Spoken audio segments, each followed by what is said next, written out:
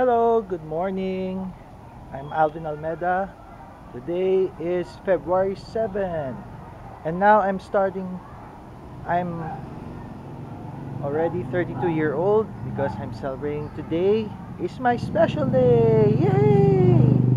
So for today, I'm going to the gym. Then afterwards, when I get back, I'm gonna get some rest. And after that, celebrating my birthday for this evening, dinner time. Okay?